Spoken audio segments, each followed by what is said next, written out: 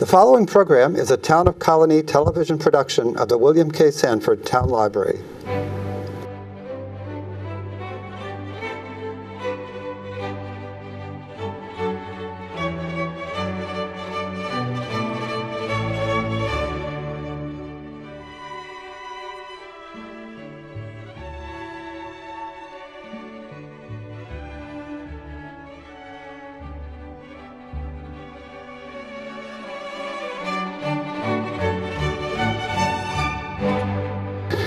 So I'm very proud and, and, happy to be here today to talk about what has become a very, very hot topic of late. And you mentioned the California law and Governor Brown, who signed that into law after a very tortured course in California.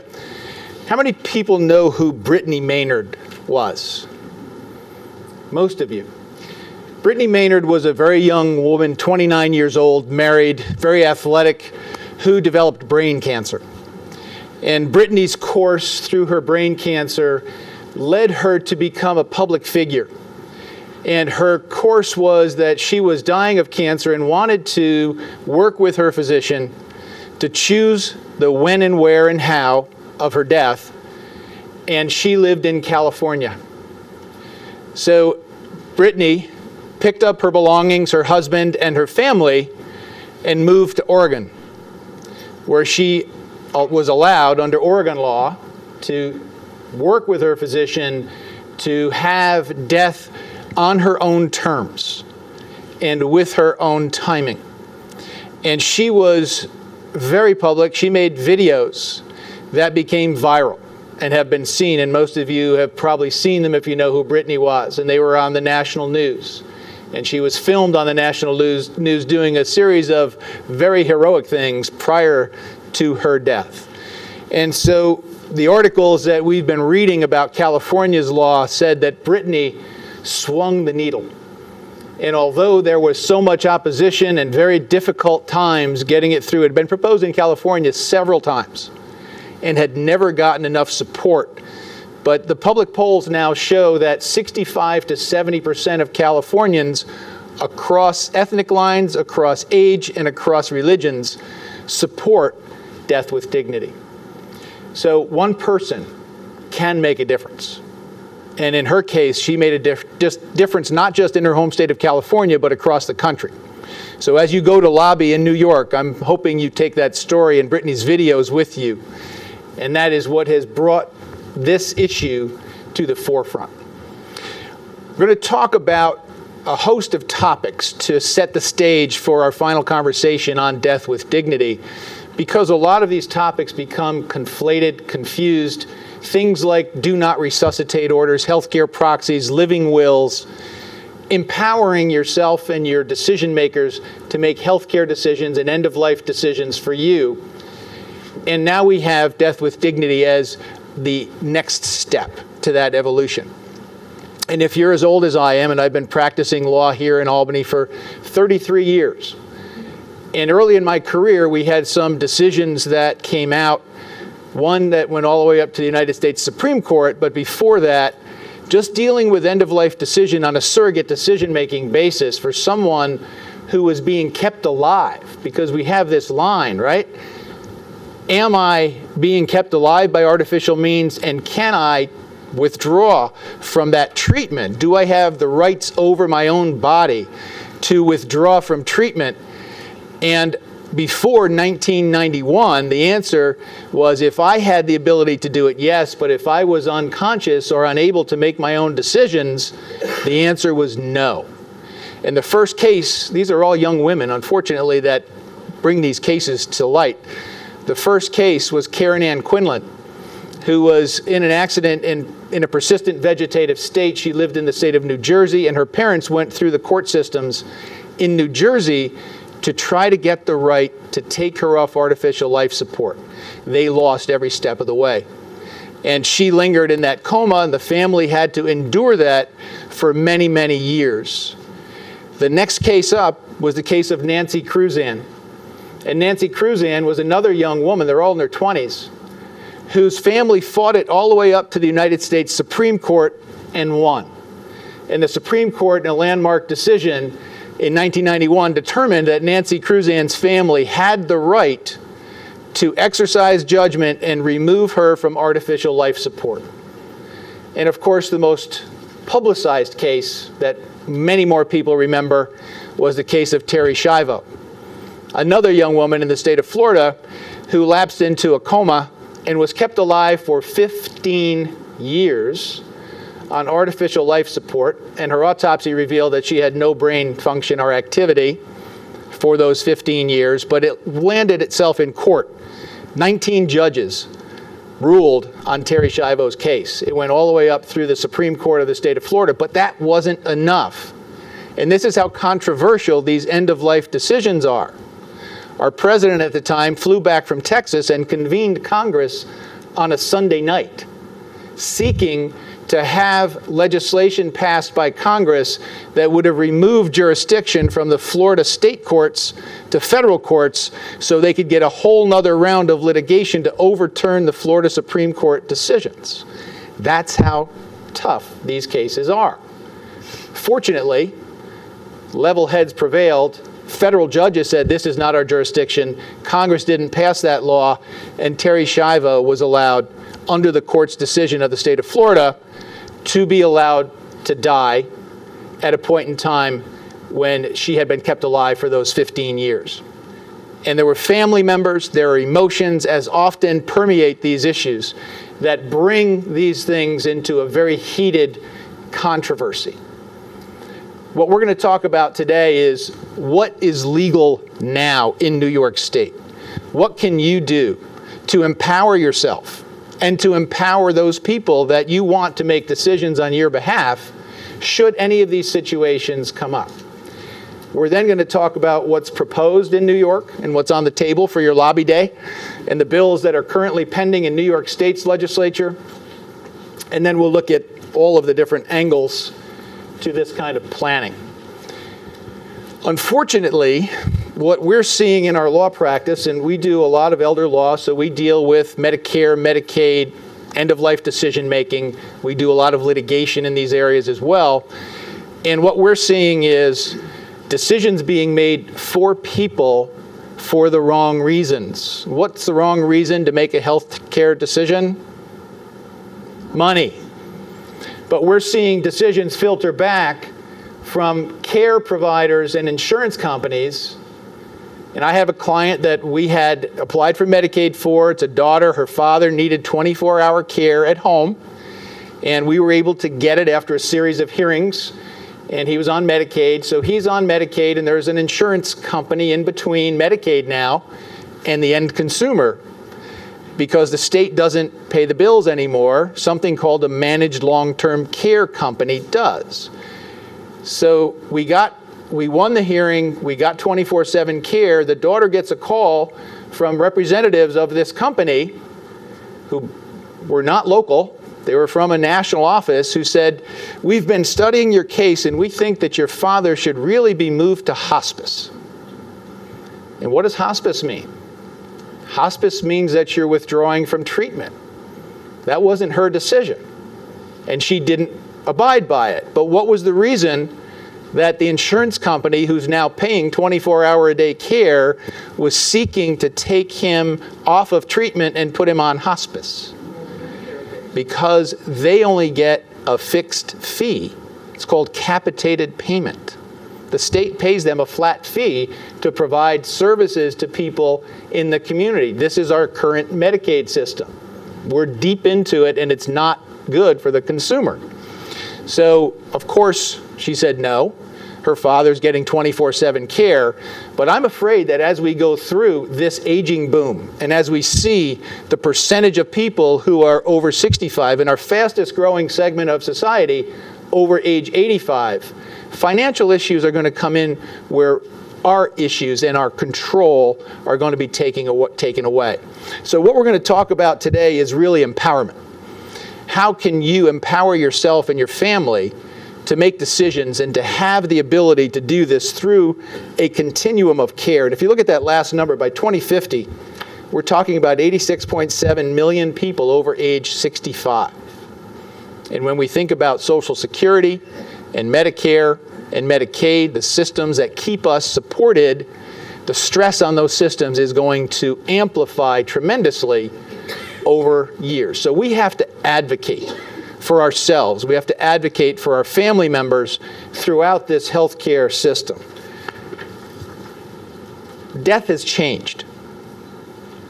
When Medicare and Medicaid were passed in 1965, the average life expectancy was 68. The average life expectancies, as we're going to see in a moment, are now 88 and 86. So people are living longer. That's not a surprise. People are living into their 80s, into their 90s. My uncle just passed away at 103 and a half. Two women in the United States just died, both this year at age 116.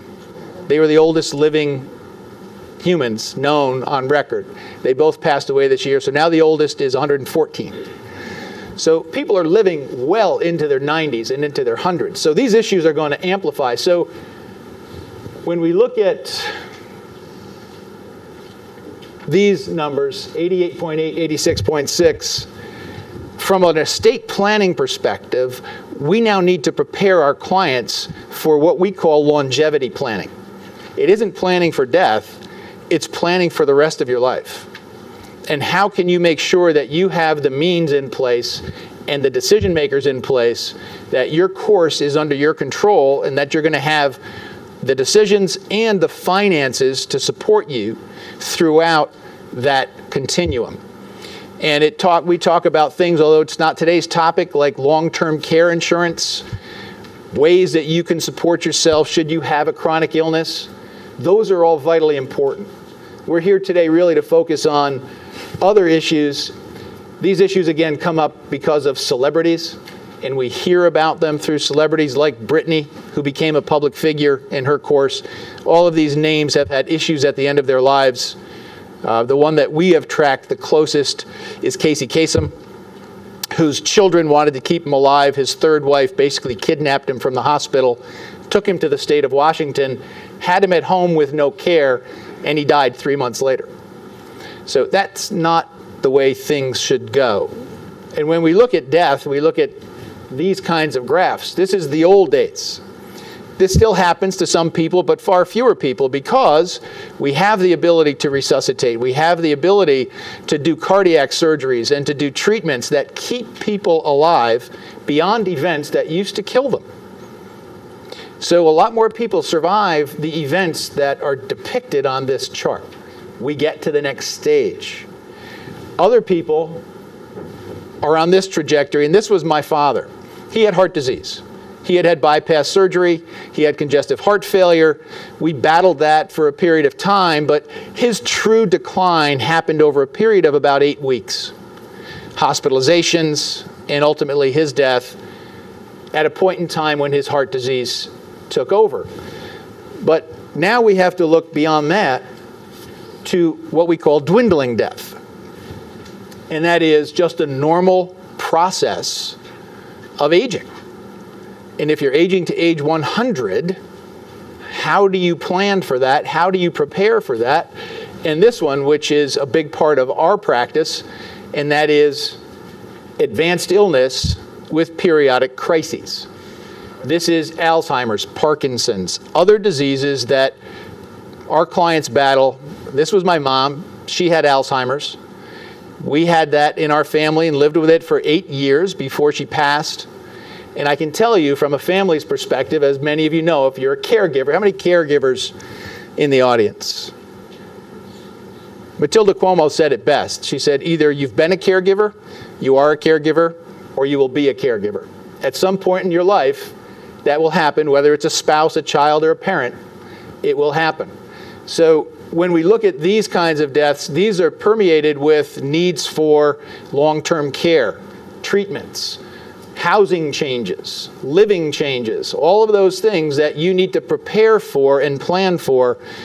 Our society has changed. My mother took care of her mother upstairs in our house. My grandmother had something called hardening of the arteries. Anybody old enough to remember that? Yeah, that was the diagnosis for Alzheimer's back when Dr. Levine carried his black bag into the house and saw my grandmother upstairs. Now it's Alzheimer's, but my mom had the same disease. She took care of her mother for eight years. Nine years. Three meals a day, bathing, dressing, taking care of her upstairs in our home. Society doesn't have that luxury anymore because my mom didn't work. My father was a provider. Now you have two spouses working. You don't have people at home. You have children whose lives are much more ambitious than your life. And you put your chauffeur's cap on when you have young children. And now you're taking care of aging parents. And we call that the sandwich generation. And in some families, it's the club sandwich generation because you have four generations, right? So, in dealing with all of these issues, we look at advanced planning. Your decisions matter. How do you control that? How do you take control of the things that may befall you? And how do you prepare? Can't plan, we can't predict any of this. We don't know what date things are going to happen. People ask me all the time, well, when should I get a will? I take out a piece of paper and a pencil. And I say, okay, tell me what day you're going to die, and we'll make an appointment for the week before, and we'll get it all done for you. You just don't know, and we can't. Nobody has a crystal ball, but we can plan. We can put solid plans in place that both provide decision makers for us, financing streams for care, and an ability to control our destiny to the extent possible. So maintaining control is a big part of what we do. And we're going to talk about a number of documents that allow you to do that. And again, this is a gift not only to you, but a gift to your family as well. Because the more clarity you can provide to them, the more you're willing to make hard choices and think about hard topics and have the talk with your children what if I die? Here's what's going to happen, kids. You're going to take care of the final arrangements. You're going to be the executor of my will. How many have had that conversation? It just doesn't come up. Oh, God bless you. That's why you're in this organization. You're planners. Most people don't. Most people fear that conversation. So when we have that conversation, we want to look at a number of things and bring up a number of topics. And this is some of the things that we are going to talk about briefly, like the power of attorney because you can't forget the power of attorney. That's a document where you appoint someone to take care of financial decisions for you in circumstances where you can't handle them for yourself. And if we live to be 100, odds are, at some point in that continuum, we're going to need somebody to pay our bills, manage our finances, take care of our investments, and do all the things that we're able to do for ourselves. So in New York, we have a power of attorney form. It used to be very, very simple. But as legislation sometimes does, it created more problems than it solved. So we went from a three page document in our office to a 16 page document for the New York statutory short form power of attorney. 16 pages now. But it's crucial that you get good counsel on the power of attorney, that you think it through, you appoint the right agents, you give them the right powers. And I'm not going to talk at length again about this document, that's another seminar, but it's important as a prong, as one of the, the legs in your stool, and we call it the four pronged or four legged stool for planning. Financial decision making, advanced directive, power of attorney is one of those legs. When we go next, we talk about the healthcare piece of that, advanced directives for healthcare. And I am going to talk at length about these because that's really the precursor to the death with dignity conversation. At what point should I have a do not resuscitate order? At what point do I want means taken away that are keeping me alive? Do I want nutrition, hydration? All those things should be thought through, should be drafted into your document, and you appoint an agent. We'll talk more about that in a minute. We'll also talk about the MOLST form. And that is a document that is created by New York. Uh, Dr. Patricia Bomba was the pioneer of the MOLST. I have the form with me. We'll talk about what it is and what it does. And up until very recently, almost no one had a MOLST. And there are reasons for that. And what's the reason in healthcare that things happen or don't happen? Money. The MOLST has to be completed by a healthcare professional and has to be signed off on by a physician. Next time you go to your doctor's office and you're having a routine appointment, how many minutes are you going to spend with that doctor? With the doctor in the room. 15 tops, right? Sometimes five. The MOLST takes about half an hour to prepare, and a doctor has to do it. There's no billing code for a MOLST. Medicare doesn't reimburse the physician for spending the time, but it's going to. They actually have Medicare changes coming in 2016, which will allow a physician to talk to a patient about end of life decision making. So there's progress, and that's good progress. Again, these are not easy issues. There are lobbies on both sides, very conservative lobbies that don't want any discussion. Anybody remember the death panel discussion? this was it. In the Affordable Care Act, the provisions that dealt with doctors talking to patients about end of life decisions were called death panels. So the true death panels are the ones controlling the money. That's reality. So now doctors will be able to do this. The MOLST form, we'll talk about it again. I'll show you what it looks like and we'll talk about what it does and where it fits in. It's for people who have serious illnesses. People who are facing decline that is not going to be the gradual 10 year decline of normal death, but a more advanced progressive course. The MOLST is the doctor patient sitting down and going through all of the things that you should be thinking about dealing with end of life decision making. Again, the precursor to death with dignity. So we'll talk about that some more. The next one is one that we do in our office that a lot of people don't. A lot of attorneys haven't adopted this. It's been only in existence in New York for about seven years. It's called a disposition of remains appointment. How many have heard of a disposition of remains appointment? How many people have ever heard of Ted Williams? Anybody ever heard of Ted Williams? Anybody know where Ted Williams is today? He's dead. Give you a clue. He's out in Arizona. He's in a vat of liquid nitrogen. In fact, he's in two vats of liquid nitrogen because they split his head from his body and put that in one vat and his body in the other vat. Anybody know what Ted Williams' will said about his final wishes? I want to be cremated and have my ashes sprinkled off the back of my fishing boat in the Gulf of Mexico. He was a big fisherman. There was litigation, there was a trial. His son made a pact with these scientists that do cryogenics in Arizona that own the laboratory. They pat, literally packed him in ice when he died in Florida, flew him to Arizona, froze him, and he's there now on the dream that someday they can regenerate his body, brain, or some parts of it and bring him back to life. I use that as a dramatic example of why this document's important. What are your end of life wishes? Beyond that, when you're deceased, what do you want done? Funeral, cremation, burial, where you want to be buried. Families, and we deal with this, we do estate administration, we do probate work. Families in crisis when a, when a key family member dies are very ill equipped to make all of those decisions and try to, well, mom wanted this. No, she didn't. She told me she wanted something different. This is a document that allows you to, again, appoint an agent and preordain what happens to you when you die. And we have gotten very creative with these. We have people that are putting in a lot of exotic dispositions of ashes when they get cremated in a variety of very interesting places. Uh, we have people now wanting to do destination funerals and, you know, go ha- have have a party in, in Jamaica on the beach and have their ashes sprinkled into the ocean. This is people's thoughts. Some people have too much money.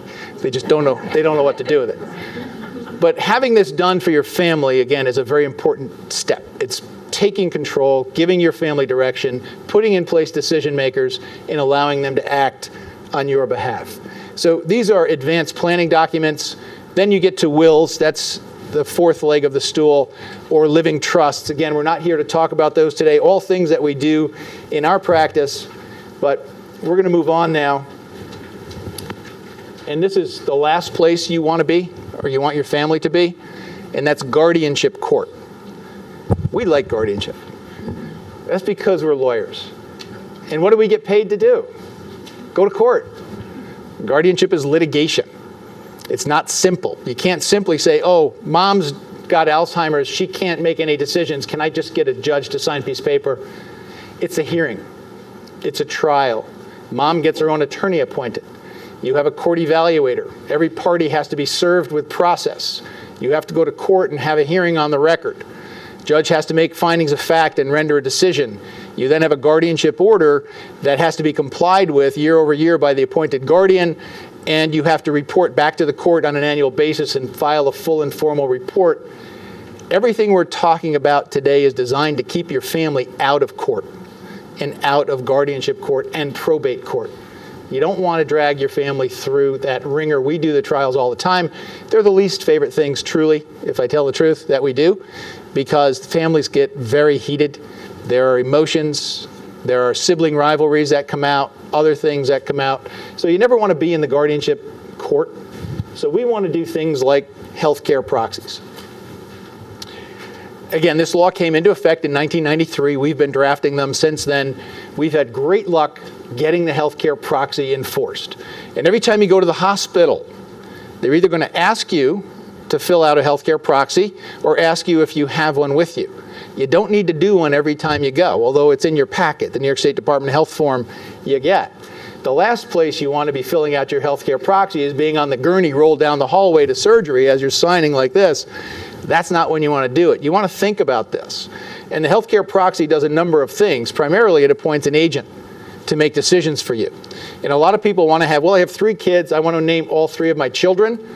That's not what the law provides. And a good reason for that is what if those children disagree?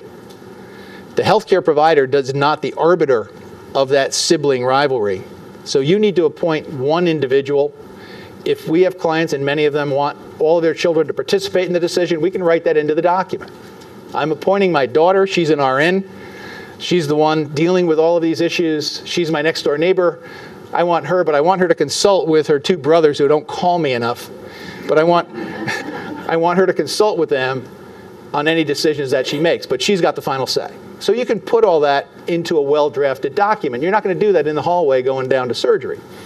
You can also put in there your wishes, and this is really where it gets compelling because if you have preferences, if you want artificial life support, you only want it for a period of time, and then you want to be taken off artificial life support if there's no reasonable hope of recovery.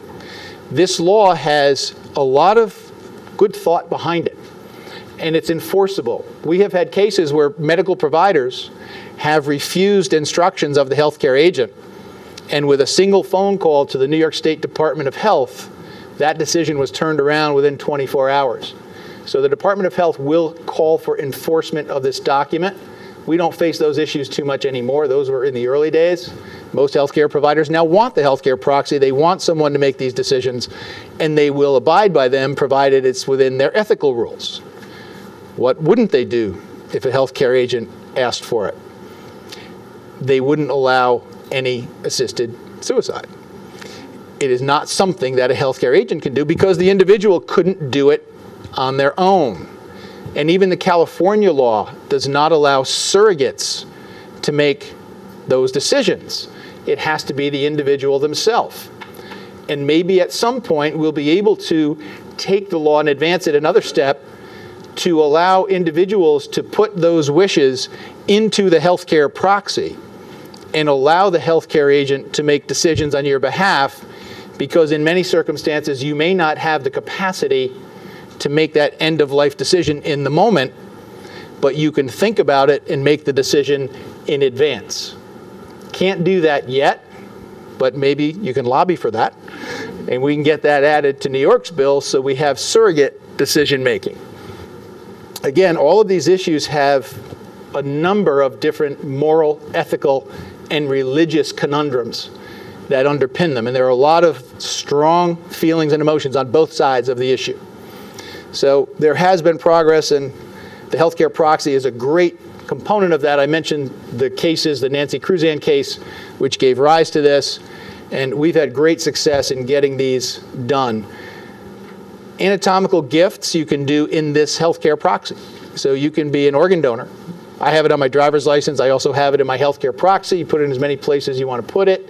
But anatomical gifts is a great gift to give, and you can do that now in the healthcare proxy document itself. There is in New York now, finally, we were the next to last state to enact it. There is something called the Family Decision Healthcare Decisions Act. Before that act, family members had no ability to make decisions. With the act, they have a limited ability to make decisions.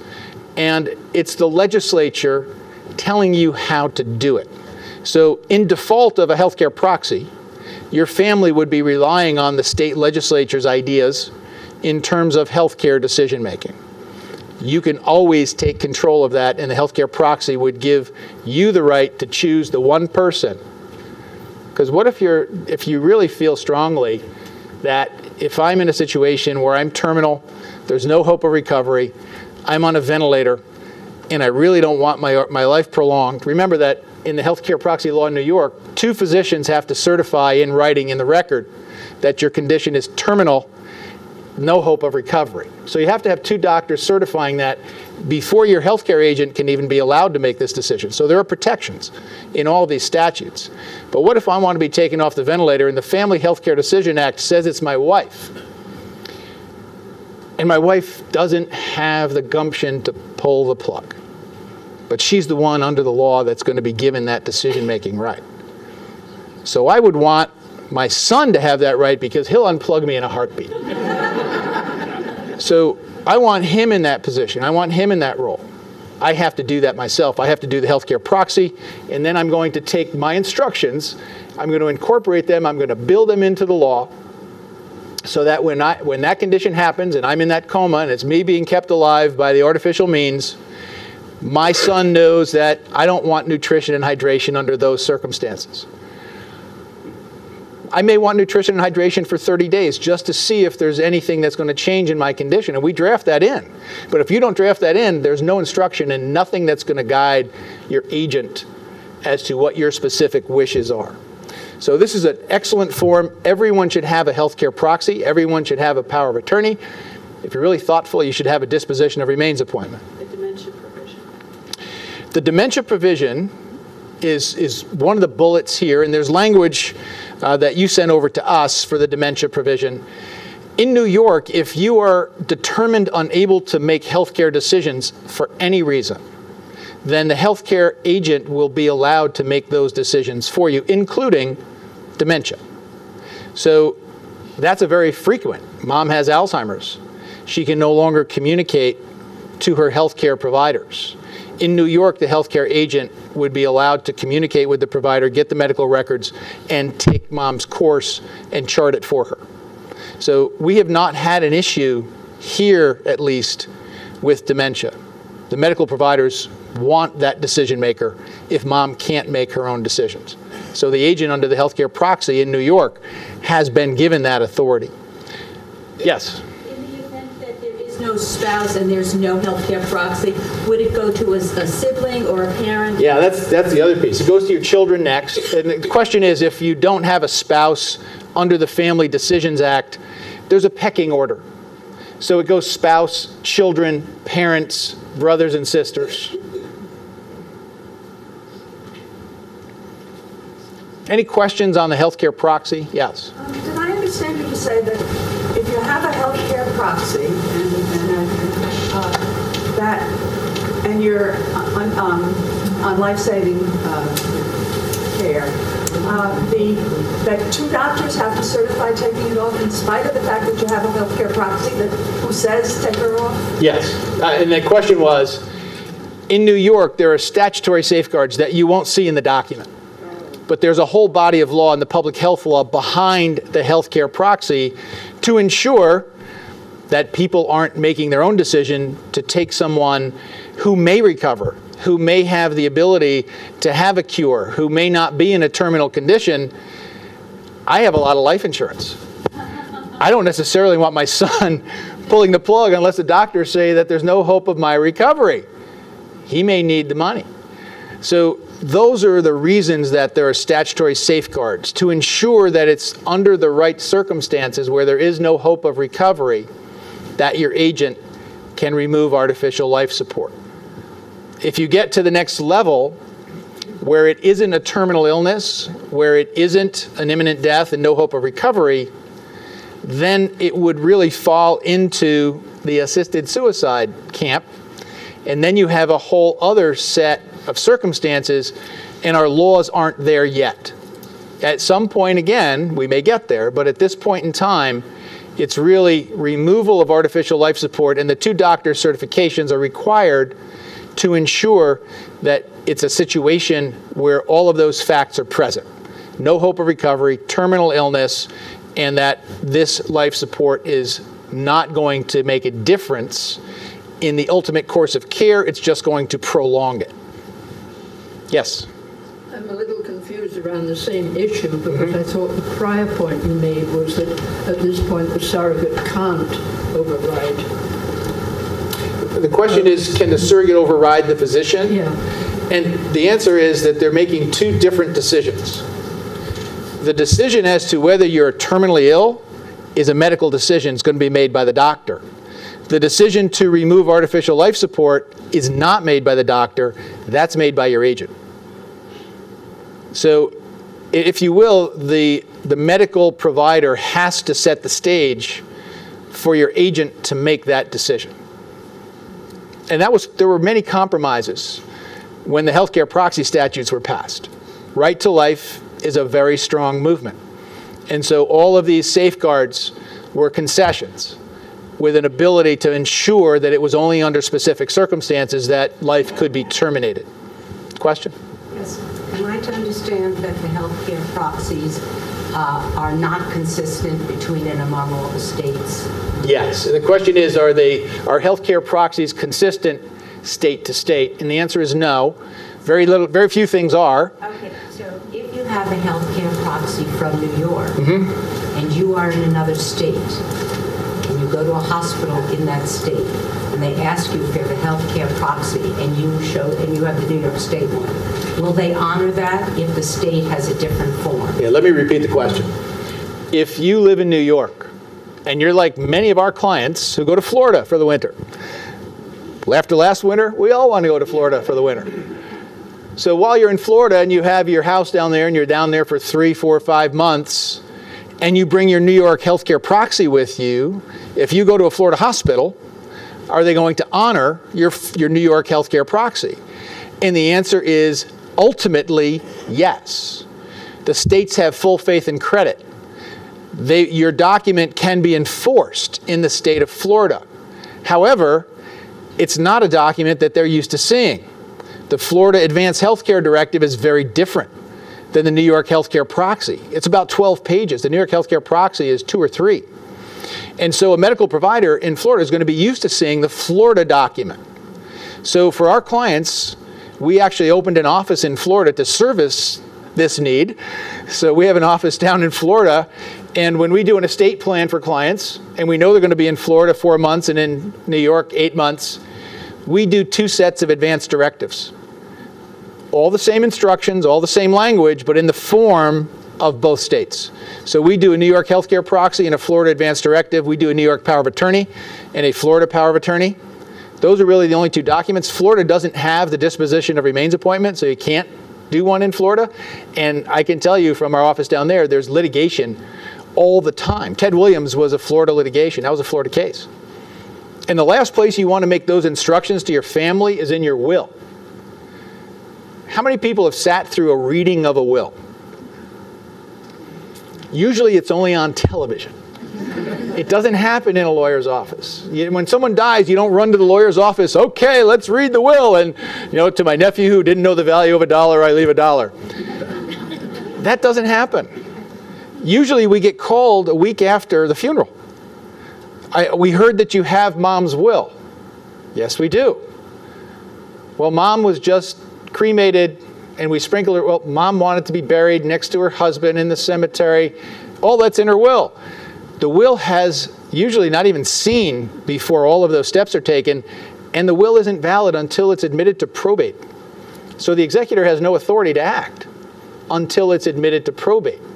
In New York, the disposition of remains appointment is immediately effective. It's in the record.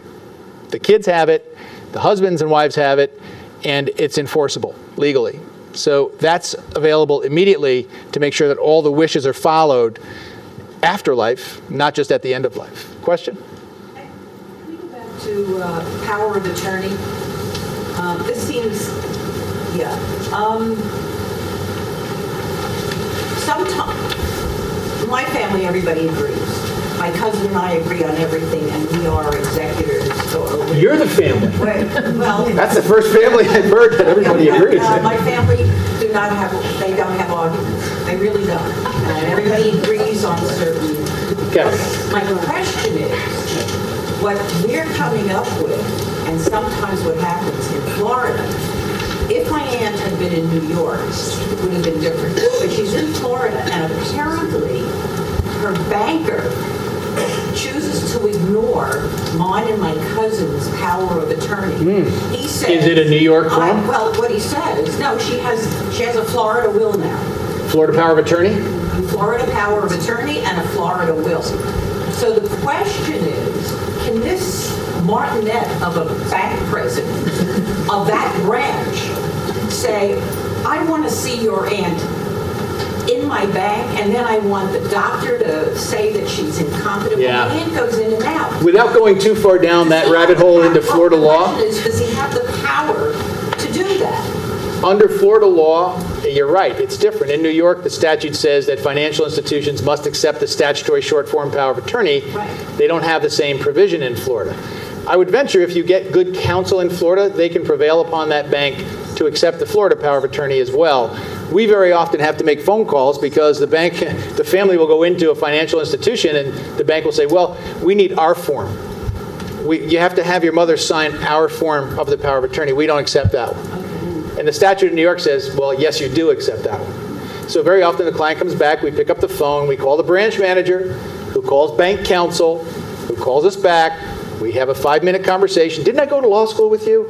Yeah. What about that Giants game last week? Yep. Going to take the power attorney? Oh, sure. No problem. Well, we're trying to avoid lawyers' fees to preserve my. What's wrong with lawyers' fees? See me, see me after the program. I'd be happy to talk to you more, but I want to get back on topic. Yes, ma'am. You are in hospice, do you still need the two doctors to certify? To remove artificial life support, the answer is yes. So if you're being kept alive, well, if it's you in hospice and you're making the decision, the answer is no. Remember, this is a surrogate decision making document.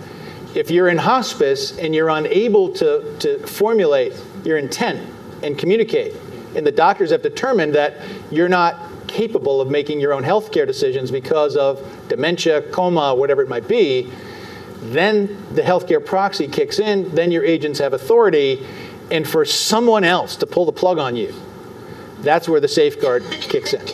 So when your healthcare agent is making the decision to terminate life support, yes, you need the two, two physicians. If you're making decision to forego treatment on your own, and it's life-sustaining treatment, that's your decision. You don't need to get that certification. Sir? What's the difference between a healthcare proxy and living will? Ah, I knew somebody would ask that question. The question is, what's the difference between a healthcare proxy and a living will? In New York, it's a very important distinction because in New York, we have legislation, we have a statute in the public health law that creates the healthcare proxy, that puts all the machinery in to enforce the healthcare proxy, that makes it an enforceable document. A living will is simply a statement of your intent with regard to end of life decision making. It doesn't have the force of law behind it in New York. It doesn't have any enforceability. So, what you can do is combine the two, which is what we do in our office. So, all the things that you typically see in a living will, I do want ventilation for 30 days. I don't want artificial nutrition hydration.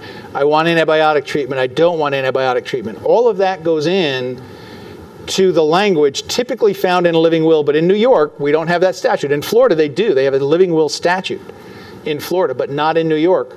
So you can do all the same things in your healthcare proxy that you can do in a living will. So we just merged the two documents together. And literally, what it says is these are my instructions to my healthcare agent. And if my healthcare agent is not available, these are my wishes with regard to end of life decision making. So it really, in New York, if you look at the case law, it's all done by courts and cases. And remember, we never want to be that case. As a client, you don't want to be that case that makes it up to the highest court of the Court of Appeals because your family is paying a boatload of legal fees to go through that process. The healthcare proxy is enforceable with a phone call. That's the document that you want to use. Some attorneys use both. It's okay, but we like to link them and, and make them enforceable together. Yes? Be in possession of the physical healthcare proxy? Should it be the patient to be? Should it be the? Everyone that may be called upon in those circumstances. That includes the agents, and we always appoint alternates. You can have one, but you can have as many alternates on the document. And we recommend that you take a copy, and we give our clients copies to distribute. Give them to the agents that you appoint, but also give them to your primary care physician. If you are at a hospital where you're having regular treatments, put it on file with the hospital.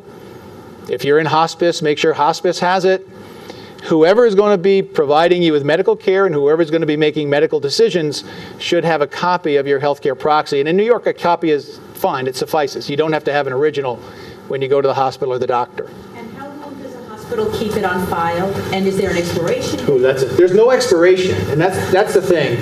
When you go to the hospital, they say, well, we need you to fill out a healthcare proxy. Well, I already have one. No, no, we need you to fill out a new, no, I already have one. You don't have to do a new one. It's good as, as long as you want it to be good, and if you want to revoke it, it's easily revoked. Would the date change if the decision is changed to, to appoint a new person for healthcare proxy? If you You'd have to re-execute. You'd have to do a new doc, if you want to appoint a new agent, you'd have to do a new document. And then how does the other one get expired? It's voided by the terms of the next one. It says that I hereby revoke Okay. my prior healthcare proxy, so you're revoking it in the new document. Sir? Uh, I was talking to a friend of mine uh, just yesterday, and he was talking about his father's death. And he said he spent days screaming for a gun. His father's. To- Yeah, his father, screaming for a gun. The the suffering was apparently horrendous. Now, this was a few years ago, but don't we have drugs that can counteract that? What what the hell is going on? Uh, The, the question is, and this is really where the topic of today comes into play, and that is for people who are in those circumstances, who are going to go through weeks or if not months of suffering and have no quality of life. It's just a downward trajectory until they die and they're allowed to die. We have now a number of different things, and we're going to talk about the differences between, and why don't I just go forward to that? I'll come back to this.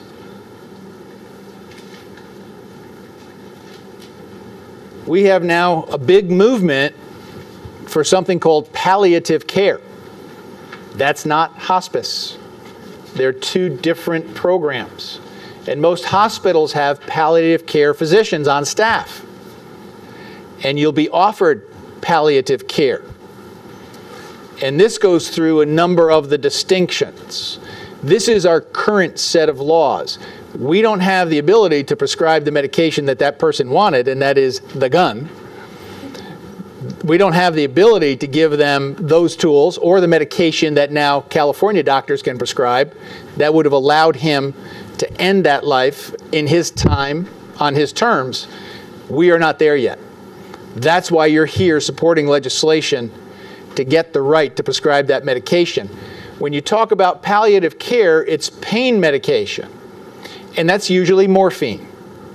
And so that person would be given a morphine drip and at some point, that morphine drip will take away their cognitive ability.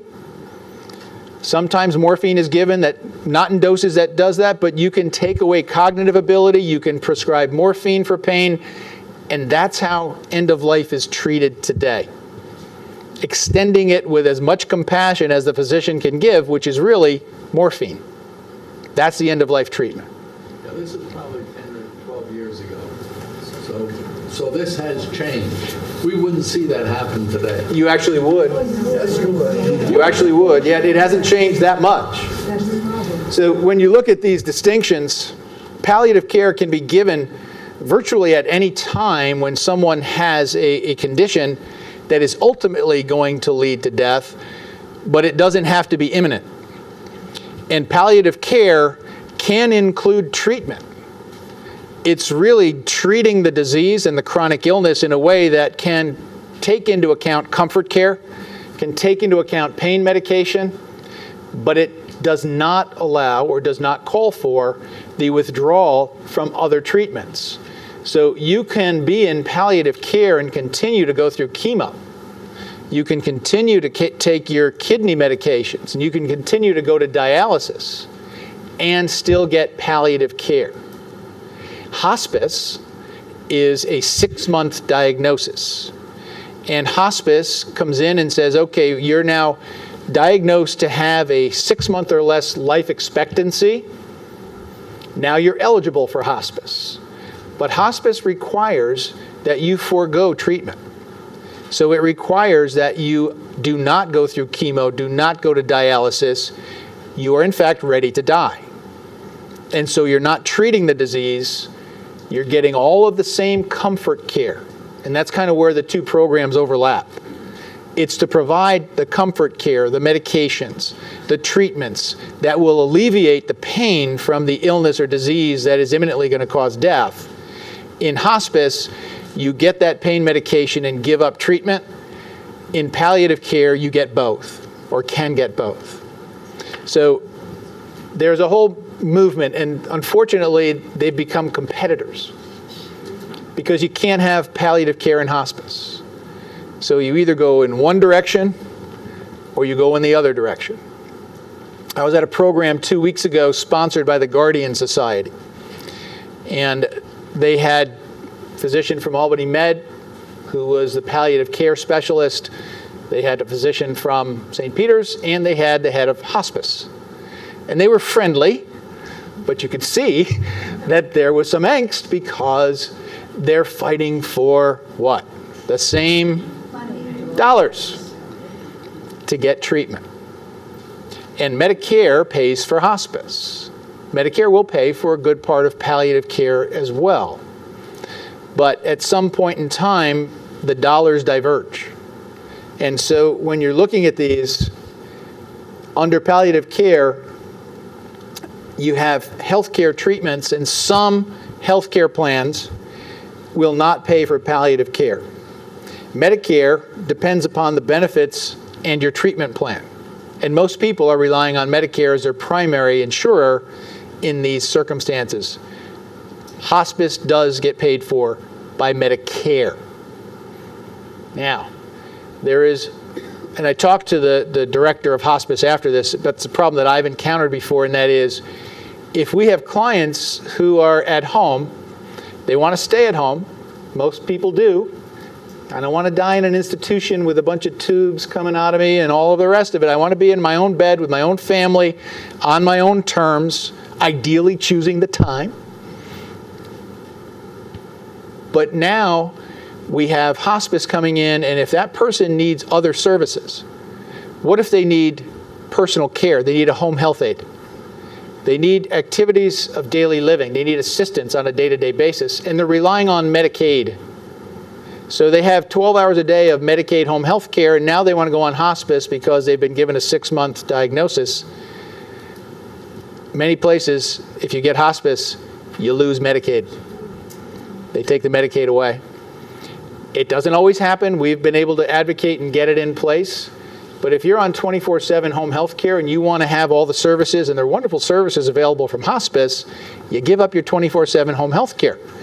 And when we've gone to the legislature, because I lobby a little bit too for the Bar Association, and we've talked about these issues, and they say, well, doesn't Medicare provide home health care?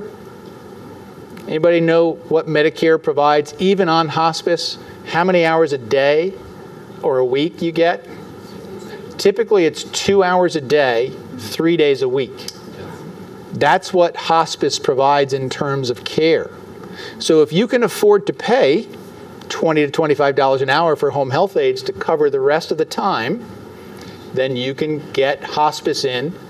But if you're relying on Medicaid for home health care, it becomes a very difficult situation if that individual needs more home health care. So that's something that we're trying to fix. We, being the Bar Association, the elder law section of the state bar, we're, we're working on that issue. It's a travesty.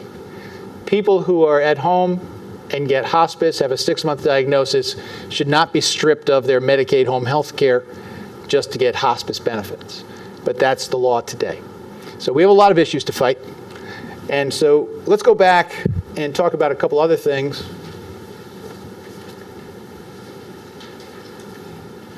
Talked about the disposition of remains appointment. I want to talk about the MOLST form. And you'll know it's a MOLST form because it's hot pink. So you can find it literally. Somebody had common sense. They designed the MOLST in pink so you can find the form. And this is the document that you sit down with a healthcare provider, and it goes through a range of decisions and choices. And it looks at treatment options, and it looks at end of life decisions. When do you want treatment to be withdrawn? And you sign it, and your doctor signs it. And this becomes part of your medical record. This is a healthcare document in New York State. Again, not many people have one. Anybody have a MOLST? How'd you get your doctor to do it? She was willing to do it. That's great. There aren't many. You can get them in a number of places. I'm going to give a couple websites later, but in your packet, everybody get a blue packet? If you didn't get a blue packet, Brian, do we have any more? There's one right here. Is that an extra? You want to pass that back? In your packet is this little brochure. And this is the MOLST brochure. And again, Dr. Pat Bomba is the architect, and she's the lead advocate for this. And she's out of Rochester. She works for Excellus. But there's no pink form in there. No, there's, I, I didn't give you the MOLST form. I gave you the brochure. So if you look, you can get the MOLST at www.compassionandsupport.org. It's on the back flap. So you can get the MOLST right off of that website. You can also get it from the New York State Department of Health. Most hospitals have them on file. Many nursing homes now have them on file. So healthcare providers are getting the idea. Yes? You're, you didn't get the pink form? They probably copied it or printed it off the, uh, off the internet. Still legal, yes. This is just a convenience. The pink isn't a legal requirement. Yes? So if you um, write a MOLST form for yourself, and then you get dementia, the healthcare proxy can't override that MOLST, right? If your doctor has signed it and you have signed it and it's part of your permanent medical record, the answer is no. This is your medical directive, signed off on by your physician. So it trumps the healthcare proxy. Yes, ma'am? Don't you have to be pretty sick to get a form? You, you, they say that you have to have a serious illness. Yeah. That's who it's designed for. But anyone can do a MOLST.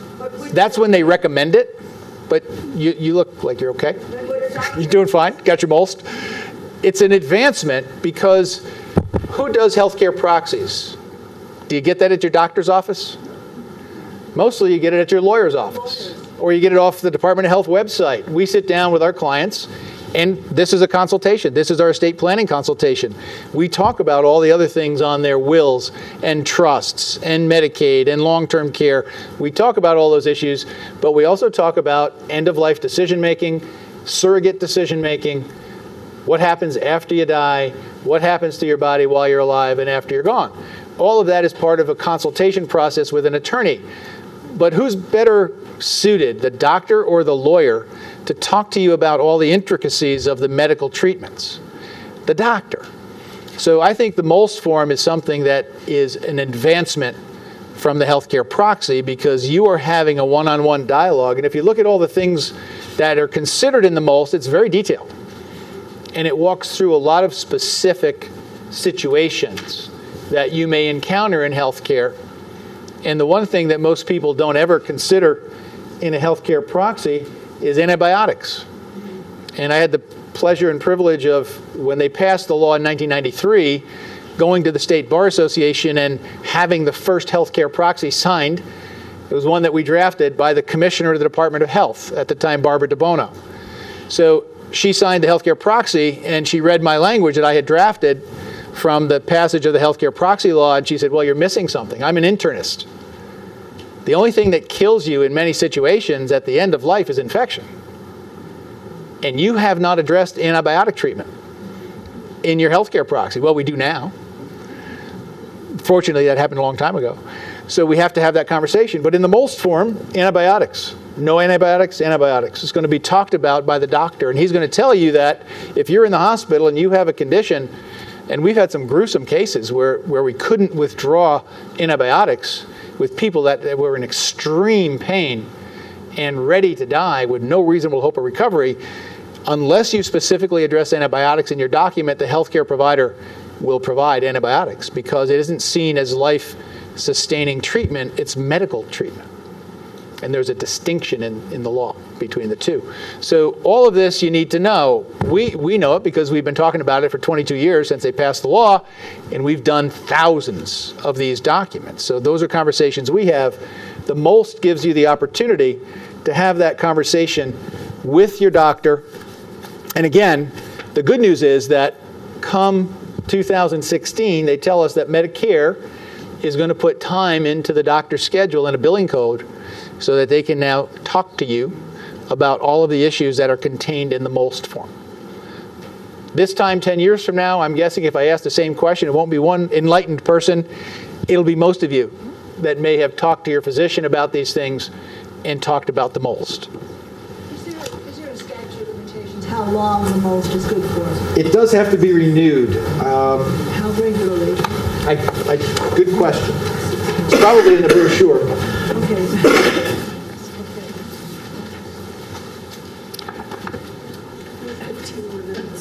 15 minutes? Okay. 10 minutes? All right, we have about 10 minutes left. So that's good. I'm, I'm on good timing. So as we're looking at planning, and we have the MOLST, we talked about the disposition of remains appointment. You want to make sure you take care of your assets in addition to all the other healthcare decisions. So we, we advocate very strongly for people if they want to really plan from all perspectives that they consider using a living trust in place of a will because every will by definition has to go where? To probate court. Who likes court? I do. Kevin does. Kevin horner one of our associates at Pierro Schaefer and connor. Stand up kevin. He's with me here today. He does a lot of probate work. Love it. it's where, it's where lawyers make money. But a living trust will keep you out of court, keep you out of probate, provide for the organized and orderly disposition of your assets, part of a well rounded estate plan. So, we talked a bit about the Family Health Care Decisions Act. And, and that's something, again, that took New York a long time to get passed.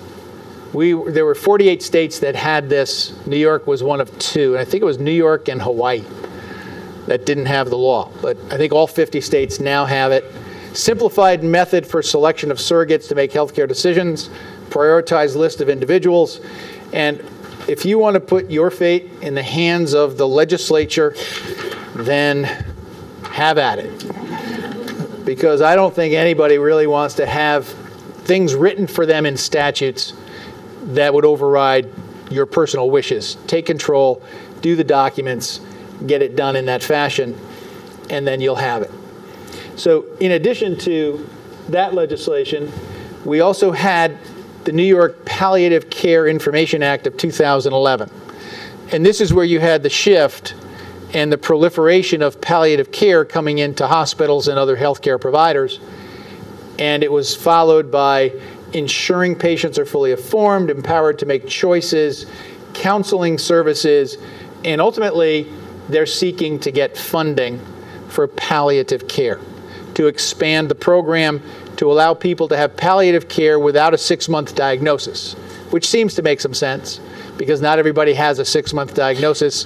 So, having the kinds of things that hospice would provide to you if you did have a six month diagnosis seems like that comfort care, the pain alleviation, and all those things should be available in an organized and coherent way.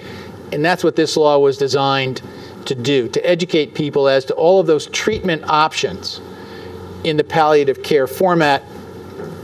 And again, this chart gives you a pretty good breakdown on what those choices are and how they play out. So let's talk then about right to die legislation. We know that Governor Brown signed California's law October 5th. There are people picketing in California right now, as we speak, seeking to repeal the law, even though it was just enacted. Um, as you know from all the other laws that bring controversy in right to life situations, there are somewhat zealous advocates on the other side of this issue who become fanatical and in some cases violent. And the whole Planned Parenthood debate right now going on in Congress and the willingness to shut down the government to defund Planned Parenthood, which doesn't fund abortions anyway, it's, it's insane. So you have that opposition, and you have those forces on the other side of this issue. So in this case, the, the patients have to be physically able to take the medication themselves and mentally able to make the decision to take it. So it isn't a surrogate decision making effort like I talked about earlier. It's you making the time, taking the time, choosing the time to end your life. And as we're going to see in just the next slide, the U.S. Supreme Court has weighed in on this question a number of different times. And you have five states, I mentioned Oregon, Washington. The closest one from here that you would go to is across the border, as close as Bennington. You could move to Bennington and have the right to die. You don't have to move there. There- There's the one difference between New York and the other laws and Vermont is it does not require residency. Right. So you can be a transient Vermonter. But you have to have a doctor in Vermont who will say the word. Right. So the Bennington Medical Center is, is where people would go if they want to be in this situation. Brittany had to move, in her case, to Oregon, and had to move her family to Oregon in order to qualify under that law. So Vermont, thank you for pointing that out, is a bit more liberal. And in New York, we now have these bills that have been proposed.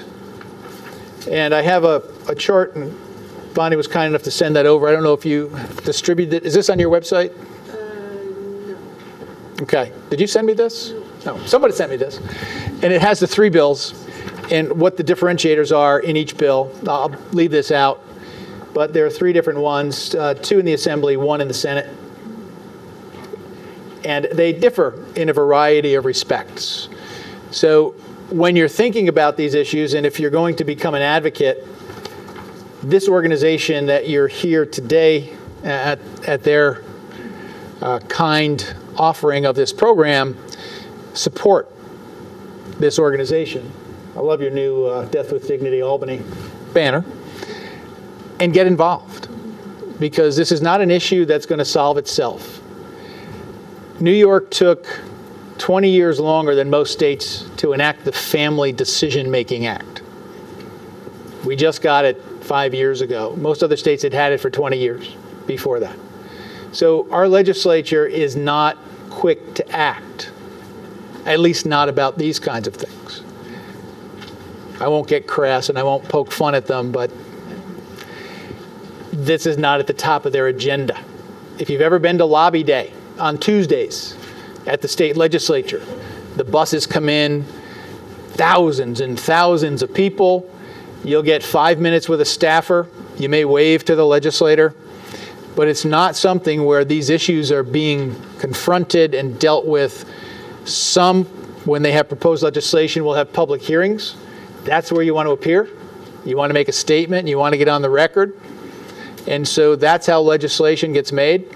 If you really want to get legislation passed in New York, write a check. And I say that from experience. That's what gets attention, and that's just the way our political system has gone. I could go on for hours about that one. But can I mention one other organization that I think is, uh, is worthwhile? It's called No Labels. And No Labels is, is now very popular in Iowa and New Hampshire because they have put outposts there. It was founded by a number of former politicians and cabinet members and staffers in Washington. It's proliferated throughout the United States. The local official who we've had and spoken with is Chris Gibson, who is a member of No Labels. Um, Jon Huntsman is the co chair, who was my political candidate four years ago. I think he got 1% of the vote because he was far too reasonable for politics. And what No Labels advocates is not partisanship, but collaboration, cooperation, and good legislation. So they have a number of fundamental reforms, an agenda for America, and they're now getting political candidates to sign on. The presidential candidates, they're putting them on the spot, and a number of them have signed on to No Labels to support it. But it ends things like the filibuster, and it looks at Citizens United, which is the case where the Supreme Court gave corporations the right to free speech in the form of money. The most ludicrous decision I've ever read. So it looks at overturning that and bringing fundamental reforms back. In order for our legislatures to take these kinds of issues on, they have to be freed from the shackles of private money, which is what funds their campaigns today. And unless you have a white knight, someone willing to finance your cause and fund campaigns, and we all read the Times Union, I hope, because they track this stuff pretty well. And the you know the the million dollar case out in Buffalo and the contractors who contribute $100,000 and get unbid public contracts goes on every day. That's how government is run today, and anybody that goes into government plays that game because there is no other game. So No Labels is looking at that. And to me, the reform of this kind of an issue goes part and parcel with that. Putting government back on a track where it's considering your wishes, not the guy in the $300 loafers and $2,000 suit who's putting money in the till going to the fundraiser. That's who gets access. They don't get five minutes with a staffer. They get an hour lunch with the legislator. And that's the difference. So you have to be loud, you have to be squeaky. The people that I love the best when they go to the Capitol are the disability groups that are in wheelchairs because they literally circle the elevator so the legislators can't go on. It's like a wagon train. They literally roll their wheelchairs around the elevators and they block traffic. And they get noticed. And they get attention. The squeaky wheel gets the grease. So be part of an organization, raise your voice, be heard. Yes? I was just going to say, those same groups are going to be some of the people who are opposing this law. So Perhaps. Some of them. Um, so that's why we need people to come to lobby day. So these are some resources for you, and you do have the slides in your packet, so you don't have to write all this down. But there are a number of places where you can get really solid information. I mentioned the one earlier with regard to the MOLST form, compassionandsupport.org.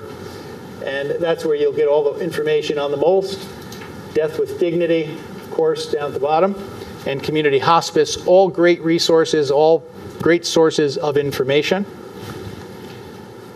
So, next steps learning about the options, thinking about your values, creating good documents that encompass your beliefs, your values, passing those values on where you can to the next generations by putting them in writing, giving your families the gift of preordaining your wishes into a document that is legally binding and choosing the right people to do those things. We recommend you update these documents every three years or so because circumstances change, people change. You may not think about those changes in terms of these documents. So pull them out every three years, dust them off, take a look at them, make sure they're current. And the most important part about this is have the conversation, have the talk. Sit down with your kids, sit down with your family members, and tell them in, in your own words what it is that you want done or don't want done, how you want it done. And if you have the three kids at the table, I have three kids, and I say, Well, I'm choosing my son, Jordan, because here's why.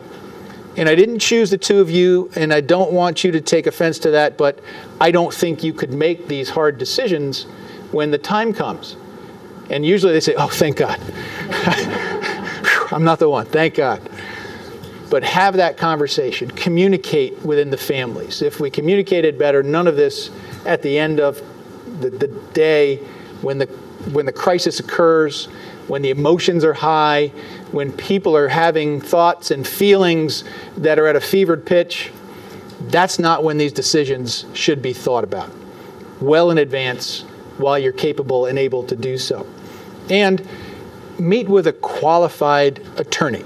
whether it's our firm at Pierro Schaefer and Connor, Kevin or myself, or another attorney, don't go to the attorney that did your real estate closing, your divorce, your DWI. Those people are not necessarily in this at the depth that you need to be counseled through the process and to do the right documents. Find someone who is doing this day to day and can work with you and your family to make the decisions, to put the documents in place, and to make sure they're enforced. And of course, every Saturday morning at 11 o'clock, listen to WGY because there's a radio show on called Life Happens, and that's our show. So we've been doing Life Happens for about four years, and we talk about a whole host of issues, many of the things we talked about here today. We've had guests like Congressman Chris Gibson on to talk about no labels and a variety of other issues, local health care providers, uh, and we cover a gamut of information on the show. So please be a listener. And with that, any other questions? Yes? DNRs. DNRs. Oh, thank you. Okay. So let me let me take the DNR question first because I, that is in the continuum of documents. And I can't tell you how many clients that come into our office and say, okay, I want to get a, a healthcare proxy, a living will, and a DNR. Really? Okay, what'd you do this morning? Well, I had breakfast. I played with my grandkids. You know, I went, uh, tomorrow I'm going to play golf. Okay, so if you had a heart attack today and your heart stopped and you were laying on the floor, and I could take paddles, put them on your chest, and you could get up from that, and next week go back out and hug your grandkids and play golf, would you want me to put the paddles on? Oh, of course. Then you don't want a DNR. Because what a DNR says is if I code, if my heart stops, don't bring me back. Let me go.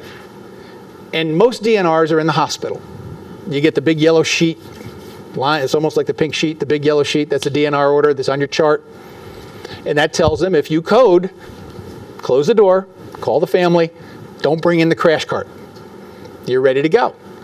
If you're not ready to go, don't do a DNR. And so it's a, it's a traumatic event. If you've ever watched CPR, it's a traumatic event. And they will put compression on.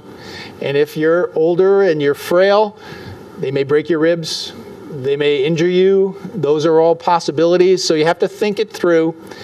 But if you think that you can be brought back and go back, and if you could go back to a quality of life that you have today, then you're probably not yet ready for a DNR order.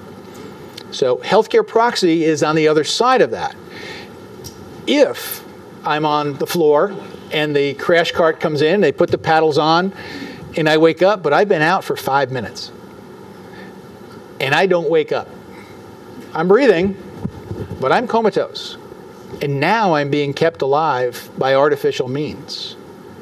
That's where your healthcare proxy and the embedded living will comes in because then if you're not going to get better, then your agents have the ability to take that artificial life support off.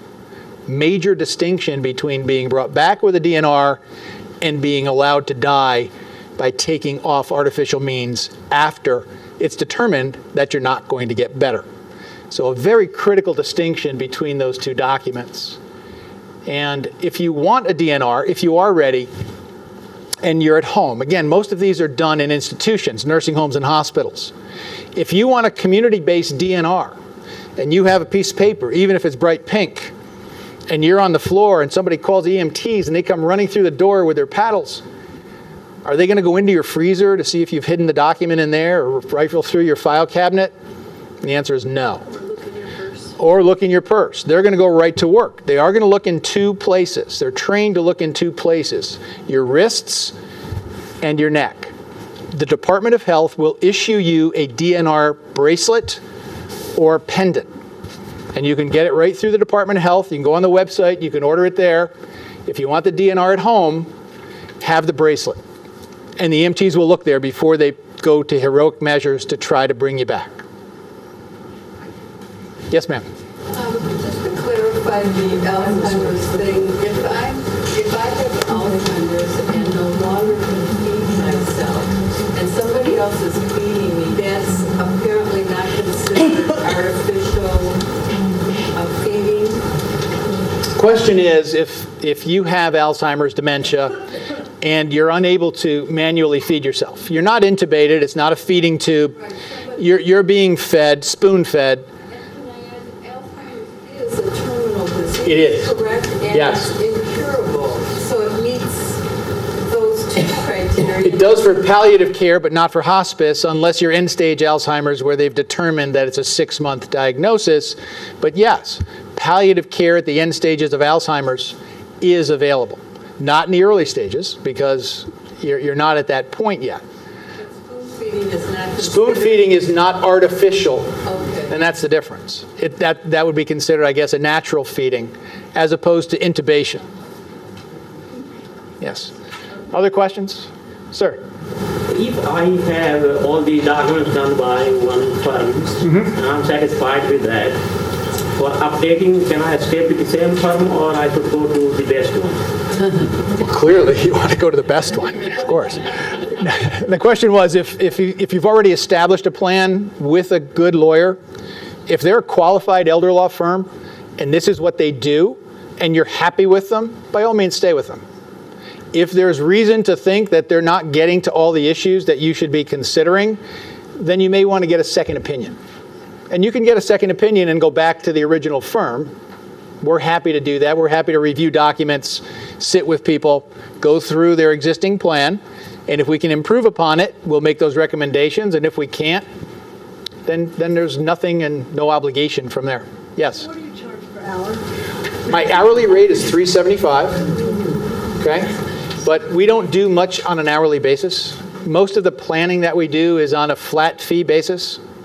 So I can give you our basic fee if you wanted to get a will, a power of attorney, a healthcare proxy, the disposition of remains appointment, and have a conversation about your overall and entire estate plan to take into consideration a number of things. I'll go touch on that in a minute. $750 for, for a full estate plan. Thank you so much. You're welcome. Trusts are much more expensive, I hate to say, but they are, because you're front-end loading a lot of the work and all the things in that estate plan I just mentioned that we will, that Kevin will iron out when he goes to court and probate, because that plan is a probate estate. When you do a trust plan, you're front-end loading because you're doing all the work that your family would otherwise do through probate, and you're doing it now. And that includes not only creating a trust, which may go for your lifetime, it may go beyond your lifetime into your children's lifetimes, you also have to transfer all of your assets into that trust to make it effective. So it's a much more rigorous process now, but it's you doing it because you know all the things that you have, you know what your assets are. And the, the thing that many attorneys do, and if you go, you know, we compete now with all kinds of things like LegalZoom. Anybody ever heard of LegalZoom or Susie Orman, Buy My Living Trust Kit? Right? We'll talk. We, we need to talk. So if you're doing those things, they're not going to ask you the question, okay, so you have this will and it's going to say all the things that you want done. But what do you own? What's going to pass through that will? Well, I have an IRA. All right, well, your IRA goes to the designated beneficiaries. It never comes through the will. I have an annuity. Well, your annuity also has designated beneficiaries. What about your bank accounts? Well, I put my daughter on for convenience purposes, but I know she's going to divide it up with the other three children when I die.